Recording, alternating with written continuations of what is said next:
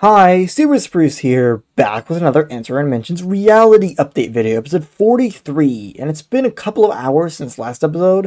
I haven't really seen the black hole be active, that's why I'm kind of starting it now. It has actually gone active, but I didn't see it, because I wasn't really at my computer.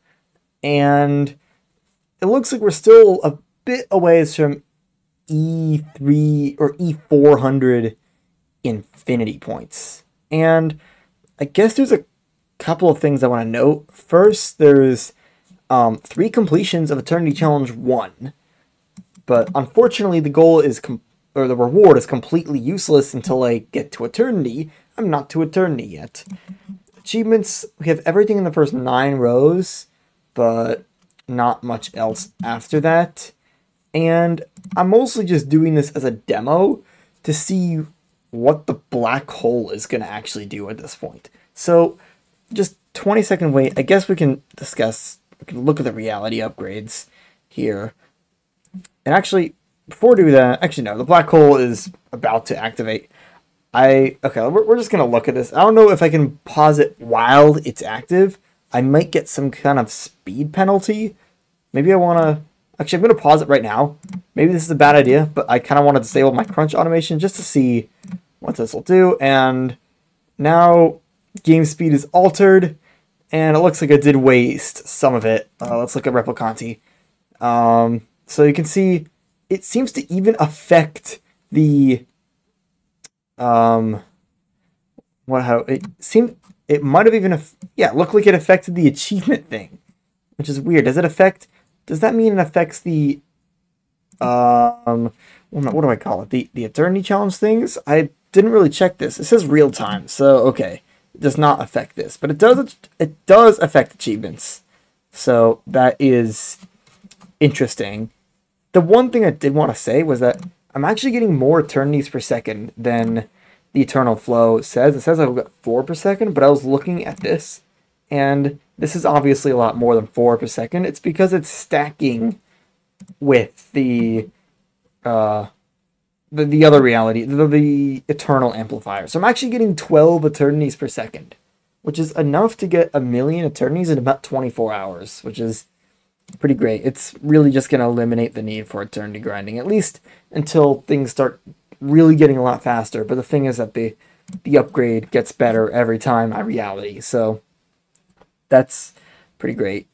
I guess I can turn back on my automation and buy some time theorems. Because what I, I, I can I'm up to six time theorems, which is actually pretty good. But if I want to get to 400 E400 infinity points, a lot of these early time theorems are just bad. Like 31 and 32 are garbage.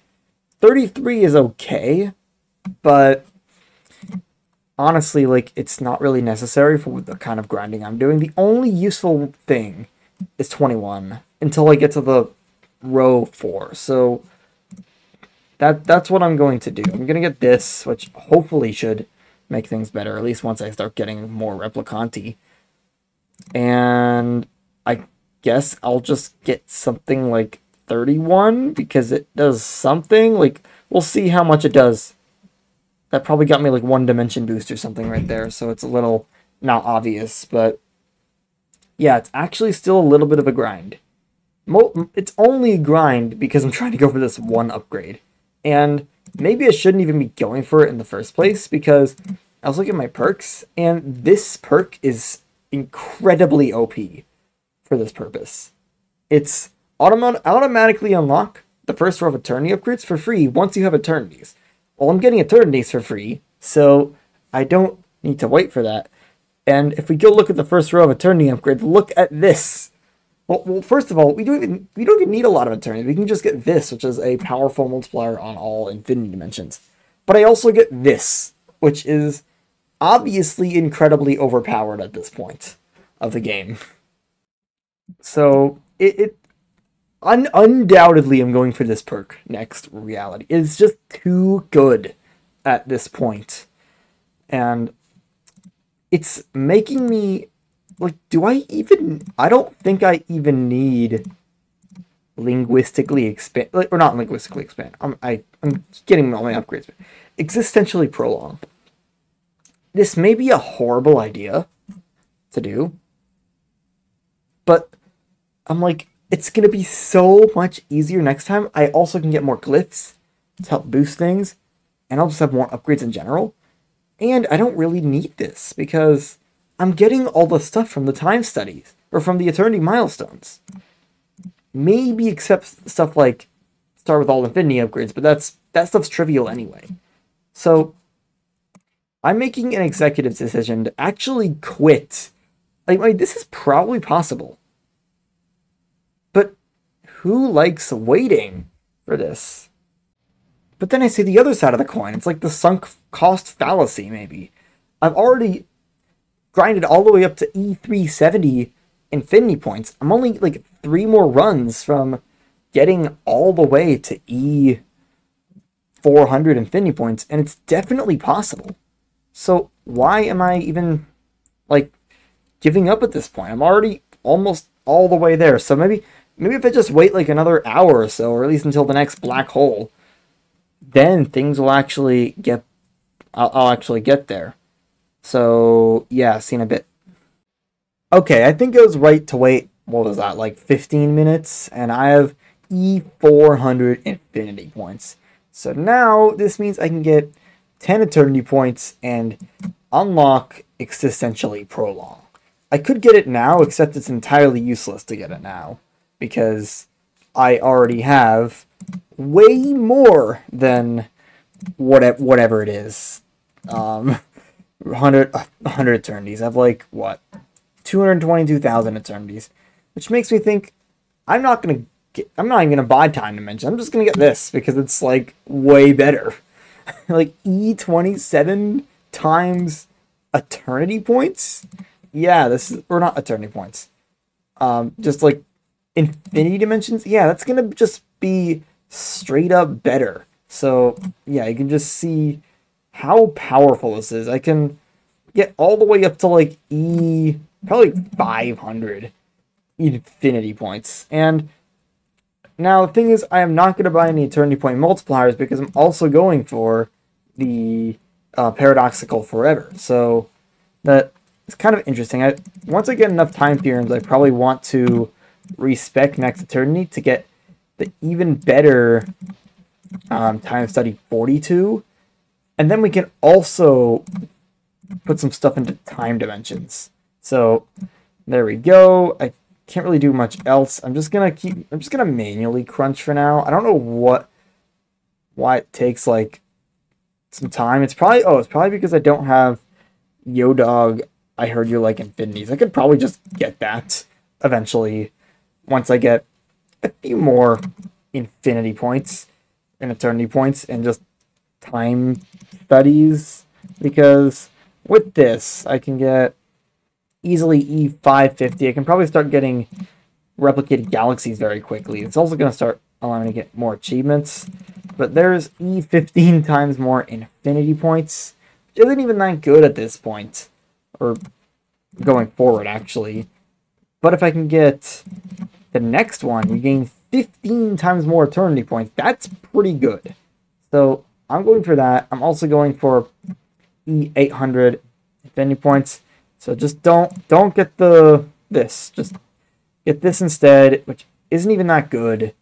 I guess just buy into all these time dimensions, and I can it gives me a few time theorems, which really isn't all that much yet. I could get something like 71, 72, I'm not even sure. Just at this point, I'm just going to go on another long or not or just go on another push run, I guess, to get lots of infinity points and more time theorems. And this will also allow me, maybe I should just do like one semi push run like this, where I get up to about E800 infinity points again, because that gets me up to what the 1E3 time theorems or not time theorem. What am I saying? I, I am mixing up all my resources, and yet we're get we're also getting achievements. just got the the swarm, just pretty cool. But actually, I have several time theorems here. I probably just want to go for this for now, which is really good at this point. So yeah, let's do that. It gets me up to E1000 infinity points. It looks like my Replicanti speed is kind of maxed, is almost maxing out. So that's a little disappointing, especially at like this stage. But I think I'm going to be getting so many time theorems here that I don't think it's much of a concern. Unfortunately, this is a very, very weak time study. It's based on my time this eternity, so I can just eternity here. Um, just buy max time theorems. It's enough for um 101, I guess, and I guess a few time dimensions. I guess I just have to wait for more Eternity Challenge completions at this point. Because there's not much else I can actually do. I could I could get like this achievement and maybe even you know, I don't think I can get do you really need a guide for this. I could with enough luck get the this one, but I'm, I'm not gonna try to actually get that. So it looks like I'm capping out around E1200 something infinity points. So I can I can probably just return to here. I have a strategy. You get two time theorems instead of getting time dimensions because this gets me everything down to time study 102 and then I'm going to go for a fast eternity here so I can get um I, I can buff the time study 92. It isn't even that good of a buff, which is the funny thing. But if I just like go quickly like this and then this and hopefully, oh no, we're, we're, we're not quite there yet. Um, like this and then, yeah, okay, hopefully, okay, a little bit better. Not, definitely not the optimal strategy for getting the eternity time down. It, and is, isn't even that good of an upgrade and I think what I really want to go for is I want to get um, this Eternity upgrade, which is still really good. It's not as good as like this one because this is kind of feels kind of broken because of just how many eternities I can get. But I feel like I do have to wait until maybe tomorrow to get the the next upgrade because of just how this thing, the Eternity Challenge 1 reward is really weak. The Eternity Challenge 2 reward isn't the greatest as well. The Eternity Challenge, the, the rewards get basically better and better, essentially. At least up until, like, about Eternity Challenge 8. The 9 and 10, 9 through 12 rewards are all pretty crap, actually. But, yeah. I guess I'm just going to do some off-camera grinding because I can't really get to the next time study in a while. So, yeah, seen a bit. Okay, I'm back, and the black hole is pretty close to activating, and we can get this powerful infinity dimension multiplier. So, how far is this going to actually take me? I'm not really sure, because even with this, I also set there to be automation here. It's doing it every E25 25 orders of magnitude of infinity points. And it looks like this is about my limit. Now, this is enough to get all the way up to time study 111 if I choose to go down the antimatter path, but that still isn't exactly the most encouraging sign. I guess I really just need to wait for the Eternity Challenge Wars start really kicking in. I do want to see what the black hole would do with this kind of run, though. So we're going to see this. Also, we're, we're, not, we're not going to get time study 111 this eternity, so we're, we're, I'm just going to purchase that. It's gonna, it'll help a little bit. E1500 infinity points, probably just one more run, maybe-ish. Yeah, well, I'll, I'll do like one more run like 10 seconds before the black hole activates. So here we go, E1516 infinity points, only a few seconds until black hole, and we'll see what actually happens. I might actually do this one more time because I'm still getting some decent stuff. And here we go, the black hole's activated, and it's enough to get me up to about E1550 infinity points. It gets me actually a couple runs here.